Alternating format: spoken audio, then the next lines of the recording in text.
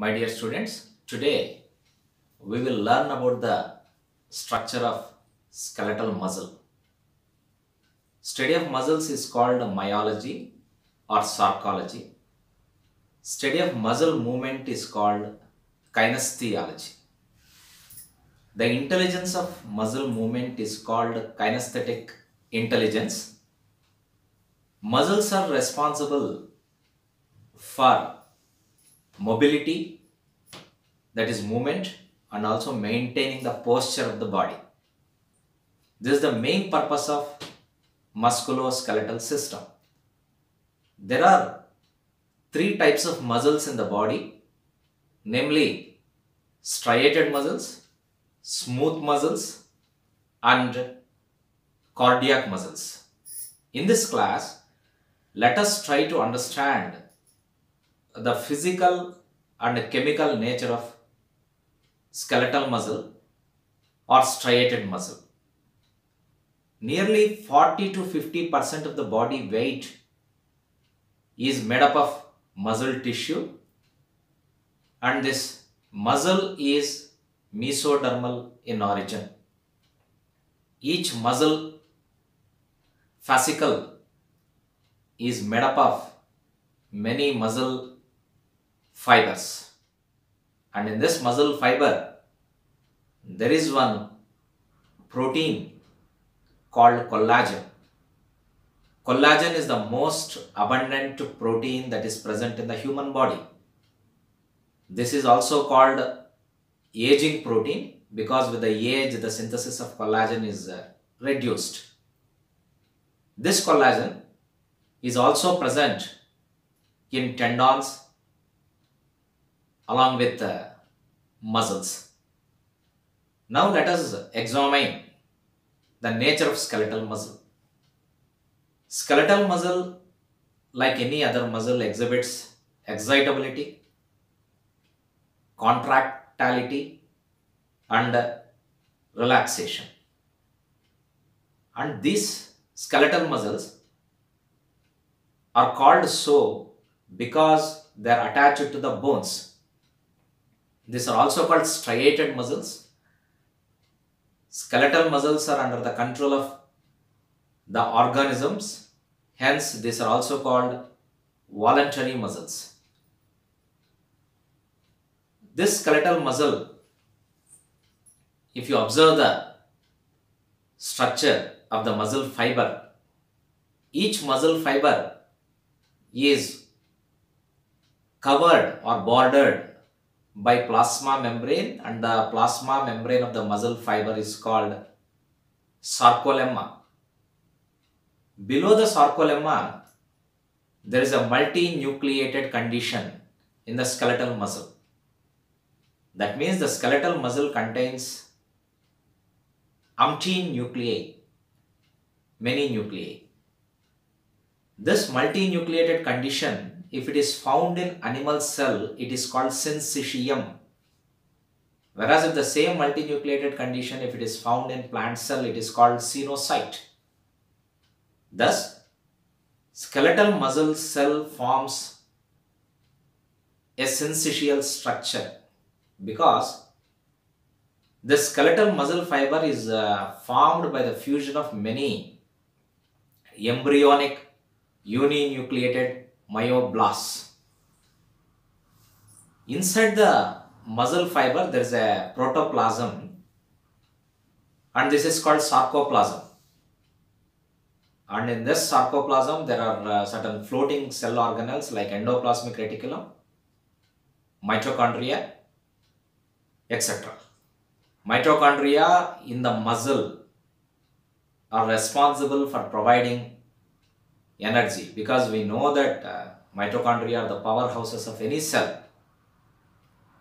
Coming to the endoplasmic reticulum of the muscle fiber, the endoplasmic reticulum that is found in the muscle is sarcoplasmic reticulum and it belongs to smooth type. That means sarcoplasmic reticulum of the muscle cell is smooth endoplasmic reticulum which is made up of many cisternae. and especially the terminal cisternae are loaded with calcium ions. These calcium ions are responsible for the muscle contraction. That means the chemical ions that are required for the contraction of the muscles are Ca plus plus ions. That means calcium ions. And there are many proteins in the muscle fiber. These are called contractile proteins and these contractile proteins are divided into structural proteins and the regulatory proteins. There are two types of structural proteins inside the muscle, especially in the skeletal muscle, namely actin and myosin.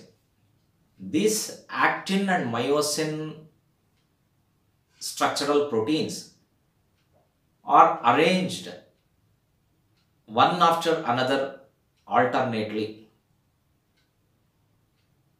Actin is a thin filament whereas myosin is a thick filament. Actin has low molecular weight, myosin has heavy molecular weight. Actin is light, myosin is dark.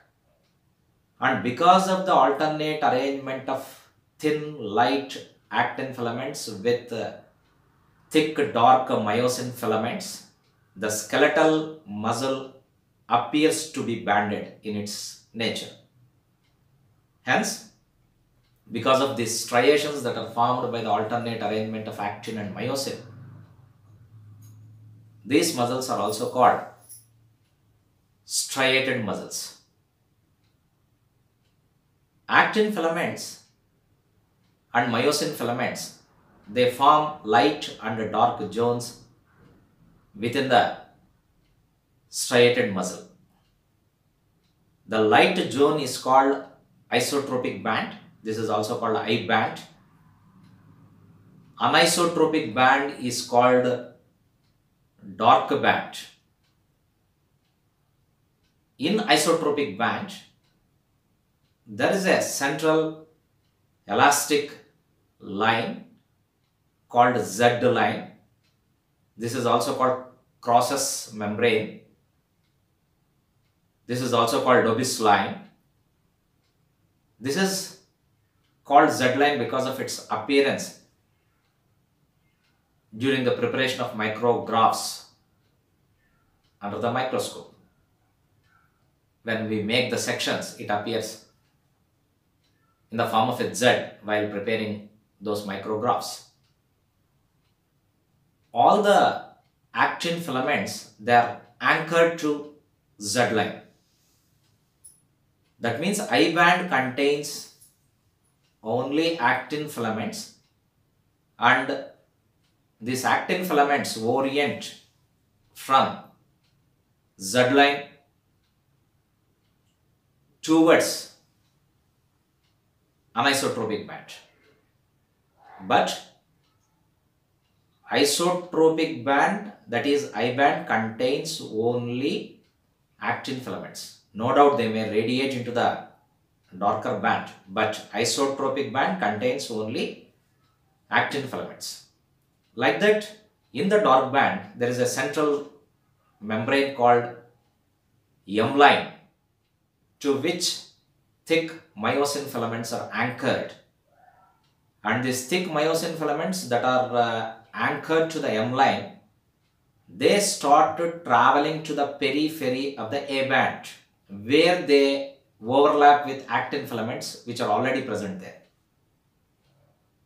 But if you compare the central portion of the anisotropic band with the peripheral portion, the central portion contains only myosin filaments and it appears less darker when compared to the periphery where there are both actin and myosin filaments. The central portion of the A band, this central portion of the anisotropic band which contains only myosin filaments is called H zone or H disc or Hensen's disc. The periphery of the anisotropic band contains both actin and myosin filaments. Like that, let me repeat, the isotropic band contains only actin filaments. Hensen's disk of the anisotropic band contains only myosin filaments, whereas the periphery of anisotropic band contains both actin and myosin filaments. And the space between two Z lines is called sarcomere and all the chemical and physical changes during muscle contraction occur in between these two Z lines occur in this zone and this zone is called sarcomere and this is nothing but the structural and functional unit of the muscle contraction. Now let us examine the nature of contractile proteins. Majorly there are four types of proteins in the muscle namely actin, myosin, tropomyosin and troponin. Actin and myosin are called structural proteins whereas tropomyosin and troponin are called regulatory proteins because they are responsible for covering and uncovering the active sites on the actin.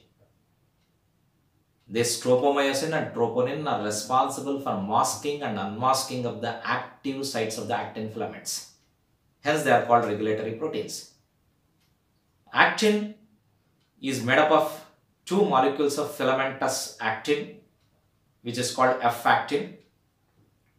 They wound with each other with a helical format and each actin is made up of a monomer unit called uh, G-actin. It is nothing but globular actin.